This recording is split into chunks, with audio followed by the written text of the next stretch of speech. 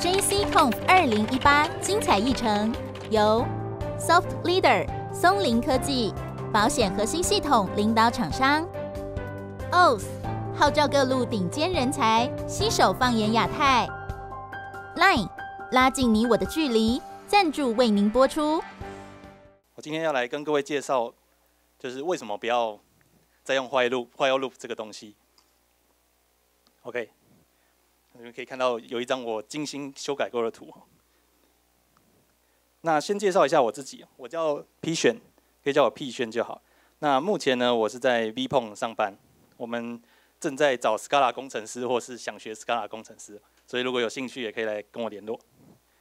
那我有五年的 Scala 开发经验，目前在工作上也是用 Scala 当主力的开发语言。同时呢，我也有一些那个 Open Source 的小作品，像是这些。所以如果有兴趣的话，也可以到我的 GitHub 上面去逛逛，然后呃喜欢的话就帮我按颗星星这样子。OK，那另外呢，我们跟一些台湾的 Scala 同号有成立一个叫做 Scala 台湾的社群，从二零一五年的冬天开始，我们每个月会有一次在台北的聚会，所以就如果有兴趣的话，也可以就是来找我们玩这样子。好，那我们也有那个线上的 Git 聊天室或者是 Facebook 的社群，所以也都是每每天都会有人泡在上面，所以也可以欢迎来找我们聊天啊，或问问题都可以。然后我们社群有一个开发中的 project 叫做 Scala Kitchen。上面有一些大家写的 Scala 的小教学，所以有兴趣的话也可以上去看看。最后呢，是我们会组那个日本的 Scala 旅游团就是每年会一起去参加在东京举办的那个 Scala Conference，叫做 Scala 马之里。那目前已经成型两年了，所以如果想找借口去日本玩的朋友，也可以欢迎加入我们。OK，那回到主题，因为要讲到坏哦嘛，所以我们就要先找一个。需要用坏友来解决的问题。假设我们给定两个日期，一个是二零一八年的十月十九号，然后一个是十二月三十一号。我们希望有个方法可以把这两个日期中间所有的日期全部算出来。好，那通常呢要呃解这个问题呢，最想到最简单的方法，我们就是可能就是从第一天开始嘛，然后我们不断的去看它的隔天是几号，比如说十九号再来是二十号，二十号再来是二十一号。然后就这样不断的算下去，直到我们碰到终点的那一天为止。OK，这就是一个标准的可以用 while 来解决的问题。我们有一个动作，然后我们不确定要重复做它几次。好，所以我们就先用 while 来解解看吧。一段简单的 while 解法大概会像这样哦。首先呢，我们 new 一个 list 出来。我们把第一天的这个日期塞进去这个 list 里面，就是这边看到了这个 start date。那这边呢，我是用 Java time 的 local day 当例子，不过大家也可以用你习惯的，比如说 Java time 啊，或是任何你呃想用的 data type 都是 OK 的。好，那接下来呢，我们用一个 while 来不断的检查这个 list，看它里面的最后一天是不是已经碰到终点的那一天了，就是用这个 is before，然后 end day 就是终点的那一天。OK，好，那如果还没碰到的话呢，我们就把下一天的日期算出来，用这个 plus days one 把它算出来之后呢，我们把这个新算出来的日期，呃，塞回去上面这个 list 里面，就是你看到这边这这个等号的这一行在做的事。这里的这个冒号加呢，在 Scala 里面是 append 的意思哦，就是例如说我有一个 list 里面有一二三三个数字，那我对它 append 一个四。它就会拿到一个新的 list，里面是一二三四这样。那因为在 Scala 里面这些东西都是 immutable 的 data structure，所以两边的 list 会是不一样的，就是左边那个 list 还是保留原本的样子。OK，那最后这个 while 跑完之后，我们就会就只要把这个 list 印出来，就是我们最后要的东西了嘛。好，好，那我们就可以来看一下啦，这样的 while 写法会。带来一些什么样的问题？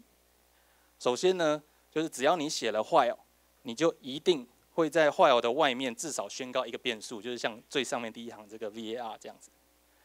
呃，大家可以自己试试看哦。哎，哦，就是你宣告完之后，你会在这个 while 的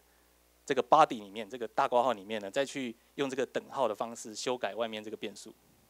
就是你可以自己试试看，不管你怎么写，只要你用到了 while 这个东西，你的 code 最后一定就会变成这样子。那因为有这个修改的动作呢，我们的这个 while block 里面就会形成两个不同的区块。上面这边红色的区块呢，它的 date 的长度是 x，然后经过我们这一行的修改之后，下面 date 的长度就会变成 x 加一，对吧？因为我们塞了一个新的 date 进去。好，那当你的这个 block 里面有这样不同的 state 存在的时候呢，就会造成在写扣上面的一些负担，因为你需要在你写每一行的时候，随时记住说这个 date 是已经被我改过了吗？还是还没有改呢？我必须要随时记住这件事。那或者是说，当你的这个要改的变数其实不止一个，你上面有好几个 var 要改的时候，那我到底要在 while 的最开始就先改呢，还是最后面才改呢？这些都会造成你的一些困扰，或者是说，在这个 while 里面有一些奇怪的 break，它执行到一半之后就跑出去了。那这些东西都会让整个 while 呃，去修改的这些变数的状态变得非常难以掌握。OK，那另外一个问题就是说呢，如果我们今天把这段 while 的扣拿掉了，比如说我们是呃不小心 comment 掉了，忘记加回来啊，或是怎样，你会发现 compiler 还是会让你过关，因为这段扣本来就是还是可以跑的嘛，这是没有问题的。或者是呢，我们今天不小心把这段扣跟后面的某些逻辑调换的顺序。可能是我们在 refactoring 的时候啊，改了某些东西，改错了。比如说这样调换的顺序，那你会发现呢，compiler 还是会让你过关，因为这段 code 一样是可以动的，只是跑出来可能已经不是你要的东西。OK，所以呢，看到这边就是我我希望大家已经有一点感觉，就是坏了这个东西呢，它其实就是一段 optional 的可有可无的 code，不管它是不是放在那边。你的程式都还是可以正常执行，只是跑出来结果可能不是你要的。那这个状况呢，尤其是在你在读别人的 code 的时候，会更加明显。通常我们要理解一段别人写的 code，我们不会从第一行就一路读到最后一行嘛，因为全部的 code 实在太多了，不可能这样子去 trace 别人的 code。我们可能是从我们感兴趣的部分开始，然后再去慢慢的扩展出我们还需要知道哪些其他东西。那在这个情况下呢？我们可能会，比如说，哎，我们先看到这个 date 被印出来了。那印出来之后，你想知道这个 date 它到底是在干嘛的，我就去看它在哪里被宣告的嘛。我就看到，哎，它在这里被宣告。那我就看到了，它是一个 list，里面只有一个 start date。但真的是这样吗？就是因为这个 var 这个变数呢，它是一个可被修改的东西，所以在这个宣告的这一行跟下面这个 println 这一行中间呢，可能有几百行的 code。那任何一行呢，都可能在你不知道的情况下去偷偷修改这个变数的值。也就是说，你要知道这个 dates 它在 print ln 的时候印出来是什么的话，你就必须要把中间几百行的 code 全部检查过一遍。OK，嗯，所以这些都是我们要用到 while 这个东西的时候会产生的一些副作用，就是我们不想要的一些效果。好，那讲到这个副作用呢，我们可以来回顾一下程式语言里面的一个小历史。在座的各位应该都还知道 GoTo 是什么东西吧？知道的，这么少，我已经是不同时代的人嘛。就是呃，在一九七零年代的时候，那个时候 GoTo 这个指令在城市码里面被大量的使用，因为它非常简单、方便、好懂。就是你执行到这一行，然后你 GoTo 给它一个行号，它就会跳到另外一行继续执行，就这样，非常直觉嘛。那但是呢，随着大家写的程式越来越复杂之后，开始有人意识到说，GoTo 这个东西的缺点，说它会破坏城市的结构，然后造成整个城市其实是不好读懂、不好维护的。于是就有人开始提倡说，不要使用 GoTo 这个东西，甚至也有人证明说，你只靠 For、While 跟 Function Code 就可以完全取代 GoTo 能做到的所有事情。虽然城市码会比 GoTo 写起来还要繁琐一点，但是其实整个逻辑是更好读懂的。OK。那经过了二十几年的论战之后呢，在一九九五年的时候，Java 诞生了，并且 Java 明文禁止 GoTo 的使用，让你再也写不出里面有 GoTo 的程式。我相信在啊，其实就不是我们这一代，因为我们这一代不是你们这一代的朋友，在学写程式的时候，课本或老师应该也都是教你说，就是 GoTo 其实是个不好的东西，就不要用。比如说你在学 C 的时候，因为里面有嘛，那他就建议你不要用。可见最后不要用 GoTo 这个。呃想法是被大家所接受的，虽然经历了二十几年。OK，那然后呢，从 Java 问世之后到现在，其实也过了二十三年，所以在二零一八年的现在，我们可以或许可以重新想一下，你就会发现说，化谣其实也是一个没有必要存在的东西，就是程式语言它是会不断进化的嘛，所以呃，或许新的历史正在你我之间发生，也不一定。OK，那既然坏哦有我们上面说的这些缺点，我们有没有什么其他的解法可以用来取代它呢？我们这边就来提呃第二个解法，叫做 tail recursion。它其实就是一个单纯的递回 recursion，但是当它符合某一些特别的写法的时候，我们再在前面加一个 tail，特别指称这种的 recursion。它的概念其实很简单哦，就是在 while 里面啊，我们是写一段 code 嘛。然后我们用这个 while 去让它不断的执行，跑很多遍。那在这边呢，我们就变成我们写一个 function，然后不断的去呼叫这个方向，呼叫很多次，那就可以模拟出类似 while 的效果。OK，像我们这边就是定一个叫做 iterate 的 function，然后它会吃一个 list of dates，回传另外一个 list of dates。啊，在 Scala 里面的话，它写在这个我画什么有？冒号后面的这个东西就是这个变数的 type，然后中括号就是 Java 的那个角括号 generic 的意思，所以它就是一个 list 里面会放一个一个的 local Day 这样，OK 吗？好，那在实作的部分呢，我们会加一个 if else 的判断式，当回圈停止的条件还没有被满足的时候，就是这边的这个 if if 里面是 true 的时候呢，它就会呼叫它自己。你可以看到它这边又呼叫了 iterate 一次，然后呢，我们会在每次的 function call 的时候偷偷修改一下这个 dates 的值，再把新的 dates 丢给下一层的 function 让它去用。OK，这边有一个值得注意的是，在 Scala 的 function 里面，你不需要写 return 这个关键字哦，只要把你要 return 的东西放在整个 function 结构的最后一行，就是它后面已经没有别的动作要做的时候。它就会自动帮你把这一行的值 return 回去。OK，那接下来就是我们当我们已经达到停止的条件的时候，我们就不再呼叫自己了，而是直接把这个改好的变数 return 回去，就把这个 date 直接丢回去。啊，如果用图解的话，图来解释的话，大概像这样子。首先我们就是呃呼叫 iterate 嘛。然后传入一个最初始的 list，里面只有一个 date，就是 d one。然后呢，这个 iterate 它就会去呃算出一个新的 date d two，然后把它 append 在这个 list 后面。那再把这个新的 list 呢传给下一层的 iterate。那我们就这样不断重复之后呢，比如说我们到这边，我们拿到了我们所有要的 date d one 到 d five 五个 date 的时候，我们碰到了停止条件，我们就会开始 return。return 的时候就是这样，直接一路把这个 list 原封不动的 return 回去，到最一开始的方圈扣，然后就出去了，就是我们要的东西。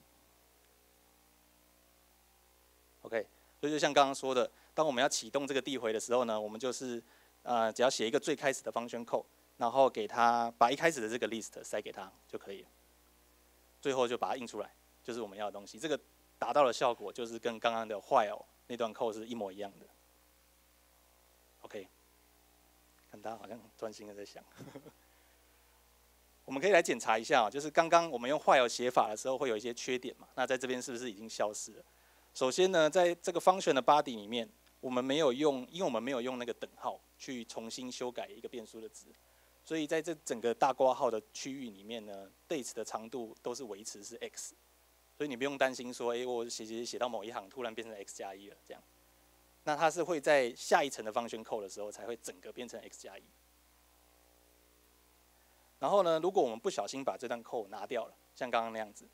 这时候 compiler 就会喷错了，因为你可以发现这段扣它那个 iterate 不存在嘛，所以它其实是没有办法 compile 过关的。或者是呢，我们一样把这段扣跟后面一些逻辑调换的位置，比如说这样，那你就会发现 compiler 一样会跟你喷错，因为它说 iterate 你还下面还没有。你是定义在下面，上面他还看不懂那是什么。也就是说，刚刚坏我会遇到的那些 compiler 抓不出来的问题，在用这个写法的时候，他就通通会帮你抓出来 OK，再来就是我们在 trace code 的时候，我们可以很明确的知道说，date 这个东西就是从 iterate 这个方选来的。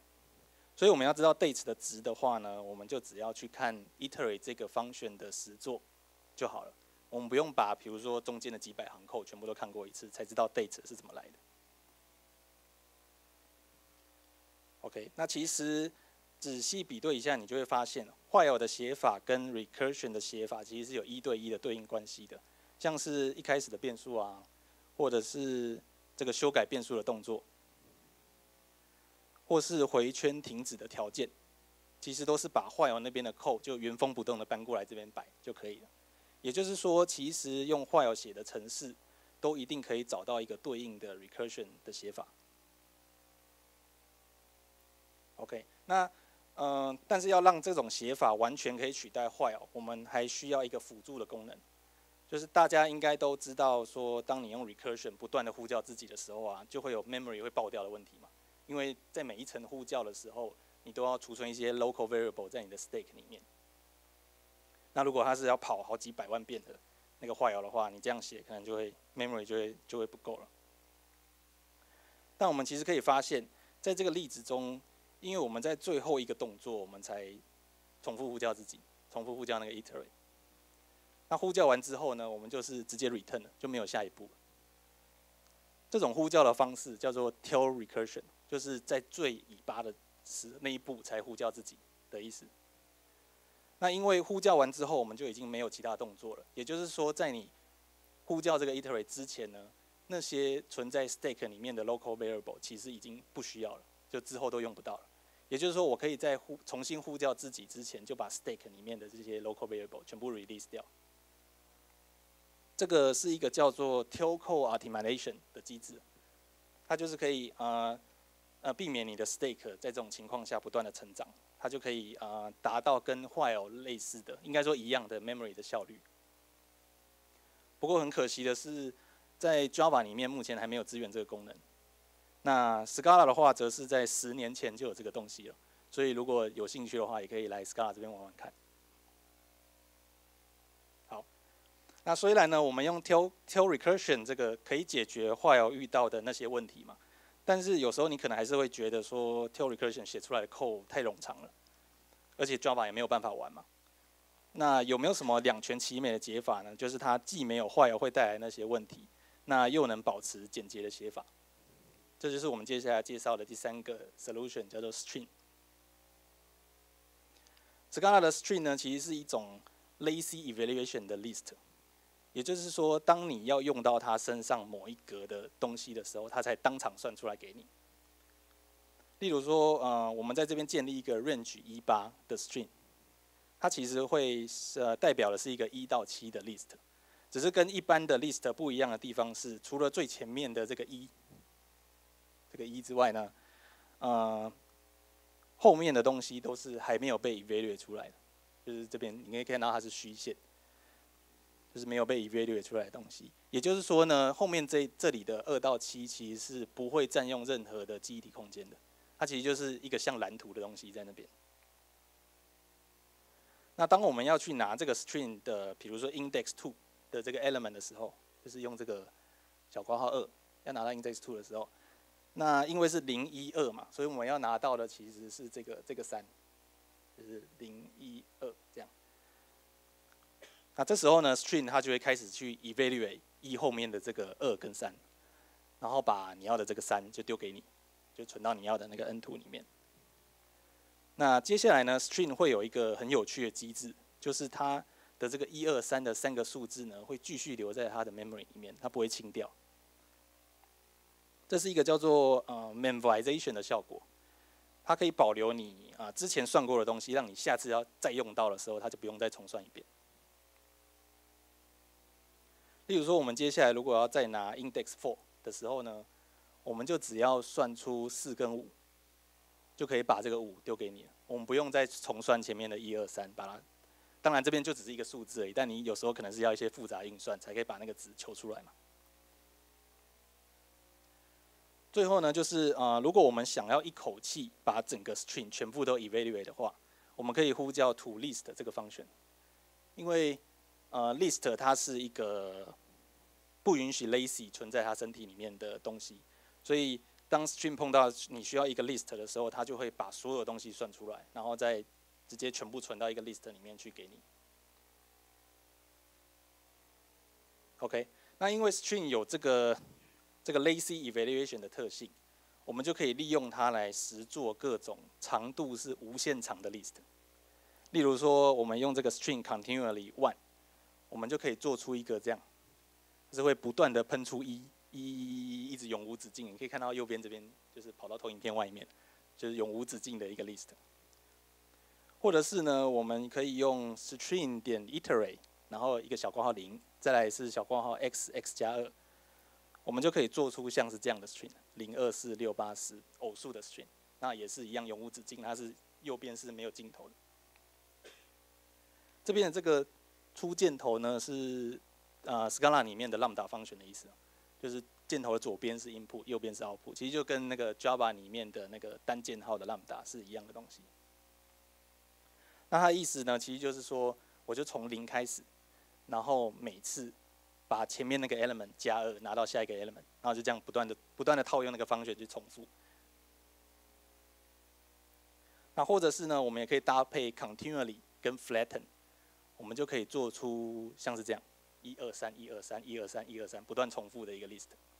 我们是先用 continually 去重复那个 list，就是一个 list 一个 list 一个 list 一个 list，然后再用 flatten 把那个 list 拆开接起来，它就会变成像这样子。那再来呢是各种对 list 原本的那些 functional 操作，在 string 这边也都是全部可以套用的。例如说，我们呃可以转换每一个 element 的 map 啊，或者是可以筛选一些我们要的 element 的 filter，或者是可以把呃每个 element map 成一个 list 之后再摊平的 flat map，这些在 Java 应该也都有，所以我想说大家应该是比较熟悉了。像这边就是把一个 x 我重复重复一遍，那就变成一一二二三三四四这样。OK，好，那还有一些方选呢，它是可以把你这个无限长的 list，呃，这个 string 限制回一个有限的长度，像是 take，take 五的话，我就是只拿前面的五个东西，所以它就变回有限的长度。或者是 take while，这里说的就是啊，如果 x 还是小于等于六的话，哎，小于六的话，呃，就请你一直拿。直到你碰到第一个不是小于六的 element，你就停下来，然后那个 element 不要拿的意思，就是像下面这样子。OK，那像这种你不确定它拿完会有多长，然后又有一个呃这个 boolean 的式子在上面不断检查的东西，其实就可以拿来模拟出坏的效果。毕竟它那个名字里面都有坏了嘛。所以呢，我们原本的那个 dates 问题。其实就可以写成这样，我们用这个 string 点 iterate，然后从 start date 出发，每次把这个 date 加一天。这边的这个底线 plus days 呢，呃，其实是 x 箭头 x plus days 的意思，在呃 x 只在箭头的呃左右两边，哎，哦箭箭头的右边，箭头右边只出现一次的时候，我们可以把它简写成像下面这样，这是 Scala 的一个呃。算是 sugar 的功能吧。好，那假设我们的 start dates 是 d one 的话，它其实就是会产生一个像这样的 string，我们就从 d one，然后每次对它 plus date one 拿到下一个 date d two，然后就这样不断重复。然后呢，因为我们只要算到 end day 那一天就好嘛，所以我们就可以用刚刚提到的那个 take while 来把后面的部分砍掉。那像我们这边就加了第二行 take while 之后呢，它就会变成这样的效果。就后面 d 时这边我们就不要了。最后呢，我们就是再把我们的这个结果 to list，然后印出来，就可以拿到我们要的东西。可以看出来这一段 code 比我们一开始的那个 solution one 坏了的写法还要简短。我们变成是，我们从原本在看怎么把这个东西塞到 list 里面。变成我们是在看说 list 里面的资料要怎么转换。好，那附带一题呢，有时候你可能不想要 string 的那个 memorization 的功能，这时候你就可以改用 Scala 的 iterator。iterator 在操作上几乎是跟 string 一样的，只是当它的东西被 evaluate 出来之后，它不会留在它的 memory 里面，就是这边的这个红色的叉叉。也就是说，整个 iterator 在被呃 traverse 过一次之后它就报废了，你就需要再弄出一个新的 iterator 才可以用。那这个东西呢，其实就跟 Java 八推出的那个 string 是类似的东西，只是 Scala 这边是比 Java 早了六年就有推出 iterator 可以用。如果你平常是使用 Java 的话，就也可以用这个 Java 八的 string 来玩玩看，应该也可以达到类似的效果。然后呢，从 Scala 二点一三开始呢，string 它会再升级，变成一个叫 lazy list 的东西。它跟 string 最主要的差别是，本来 string 最前面的这个 element，就是这边最前面的这个 element 呢，需要是实线的，但是呃，在 lazy list 这边就是全部都变成虚线的，也就是说，它可以做到一个完全 lazy 的 list，真正的 lazy list。好，那接下来呢，我这边有两个用 string 来解问题的例子。第一个例子是，它是一个会自动翻页的 string。常常我们在呃跟一些 API 啊，或者是 DB 拿东西的时候，都会遇到这样的设计嘛。呃，DB 会先，哦，或者 Server，它会先给你第一页的东西，它不会一口气给你所有的资料。那当你发现你还需要第二页的时候呢，你就是再打一次 API，跟他说我要第二页，这样。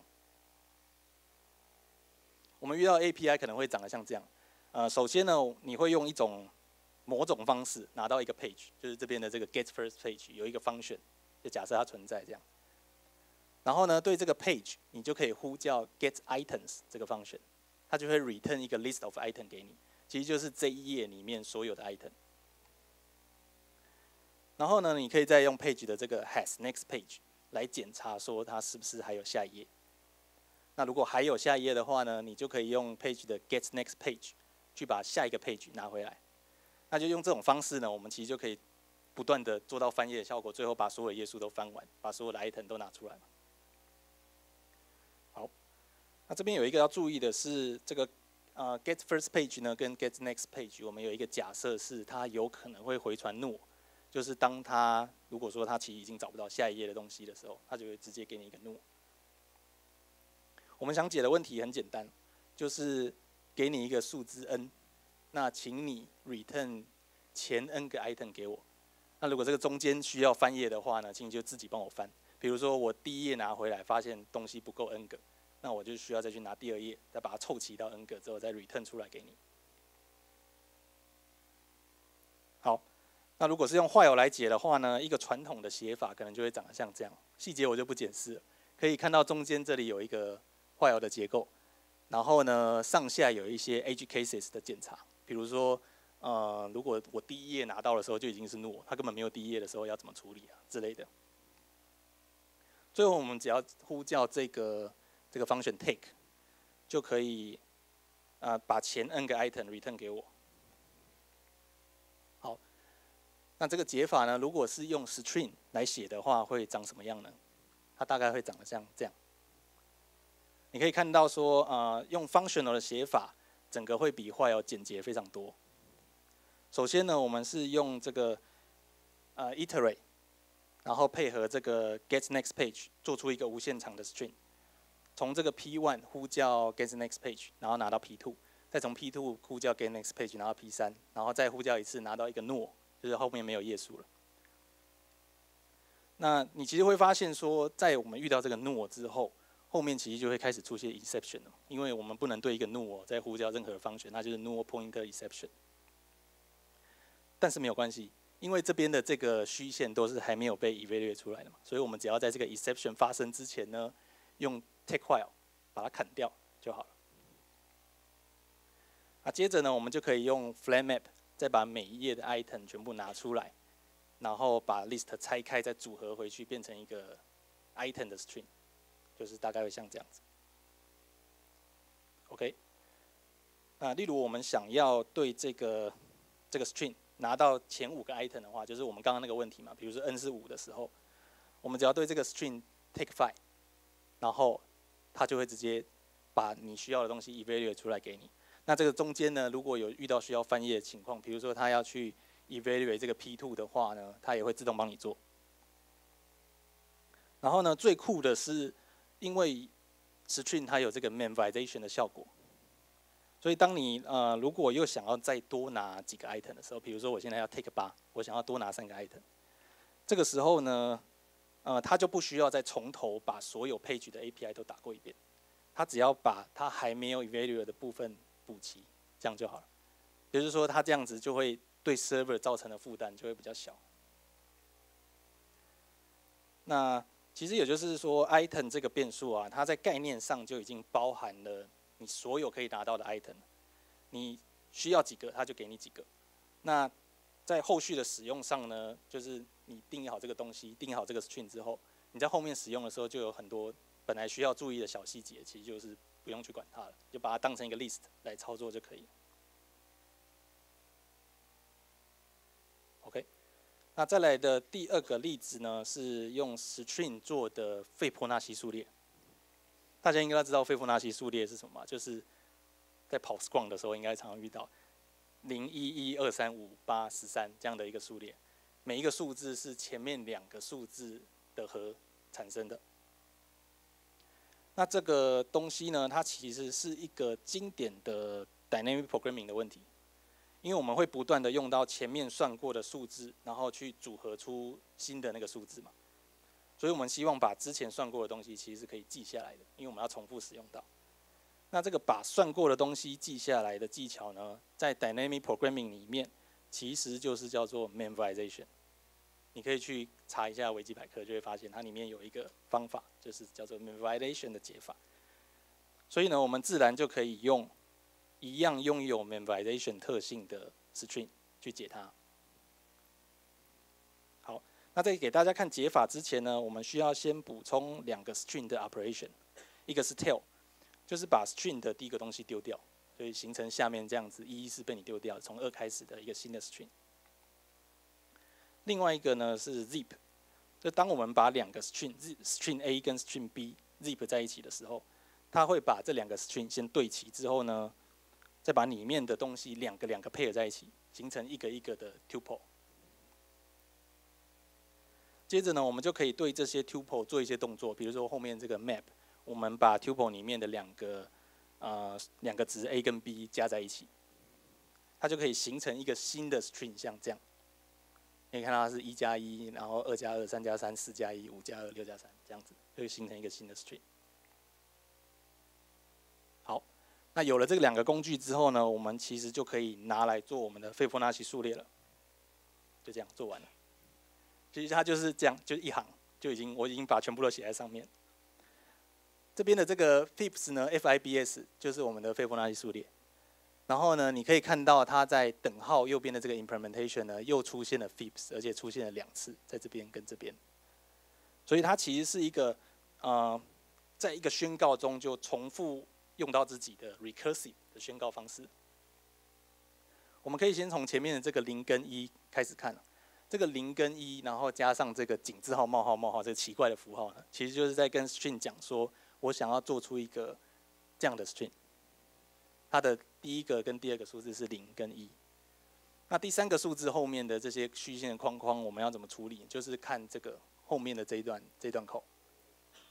OK。那这段 code 里面有什么呢？我们会有 fibs 嘛，在这里。然后呢，我们还有 fibs 点 tail，就是后面这里。那你可以看到说，呃，它其实 tail 就是我把第一个这个零丢掉，所以它就是整个往左边 shift 一格的一个 list，呃，一个 string 这样子。那接下来呢，我们会用这个 zip，把下面这两个东西这样 zip 在一起。然后呢，我们再用一个这个 map，然后这是跟刚刚刚刚那段 code 是一模一样，我们一样是把这个 tuple 里面的 a 跟 b 呢把它加起来，加起来之后呢，我们再把这个东整个东西接到这个 string 的第三个 element 后面，其实就是像这样，我们就把它放在这个地方。那这样放上去之后呢，你其实就会发现，哎，这里的一跟零我们已经有数字了嘛，所以我们其实就已经可以知道这个格这格是什么，这格其实就是零加一等于一。那这个一算出来之后呢？因为这三个 string 其实都是源自同一个 string，也就是说，我当我这个一算出来的时候，下面这两个位置其实我就知道它也是一了。所以呢，这个时候我就可以再算出呃第四格的位置，应呃第四格的值应该是一加一等于二。那当我算出这个二之后，我其实就也知道下面这两个应该是二，所以我就可以再算出二加一等于三。OK，然后算出三之后，下面这里也是等于三，就这样不断的重复下去，我们就可以做出一个你要几个有几个的斐波那契数列，就是还蛮有趣的。它写法乍看之下有点难懂，但是仔细推敲之后，你就会发现它其实是用一个很精巧的方式在描述这个问题。所以其实很多 dynamic programming 的解法，你都可以用这种方式来解决。你就变成说，我不用呃，比如说一开始要开一个 table，里面都是零啊，然后再慢慢的去一个一个改，一个一个改，啊可能会不小心改错了啊，或是怎样。你可以用这种方式，然后你其实就定一个 rule 出来，那最后它要哪一格的值，它就直接给你一个参数，然后你就可以拿到。OK，好，那我的分享大概就到这边，感谢大家听到这里，看看有没有什么。想问问题的，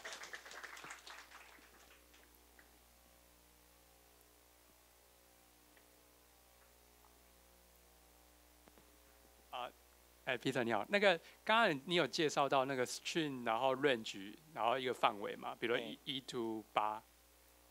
在蛮前面的，对不对？对对对然后 我想我想问的说，那那个呃，另外一种宣告方式就是小括弧，然后一 until 八，那这两个东西是是一样的吗？就是。有就是另外一种宣告方式，until 八吗？对啊，就是比如说小括弧，然后一，然后 until 八，它是它也会像这个 string，它是你是说一空格 until，然后再空格八这样？对对对对对。它，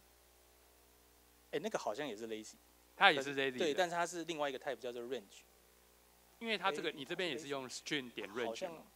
是一样的东西我不是很确定，我不是很确定，应该是不一样的东西。对它，它跟 string 这边是不同分支的。不过确定是也是 lazy evaluation 的这样子。呃，我知道的是它不会，比如说你一 until 一千万，啊，他不会就真的先把里面的数字全部弄出来。OK，好。对，但是它是不是就跟这边 lazy 是完全一样的机制？可能要再看一下这样。嗯，会问一下，调查一下，呃，有在用 Java 八的 string 的。OK，那其实其实大家应该都已经开始有这种感觉，就是其实 Java 也是在往这个地方移动，就用 while 来来解东西的时候，其实会有一些问题，所以它就是呃建议你可以用可以这样解的时候就这样解。或一些视觉化工具帮助我们去了解 string 后面这几个动作，就像你用那个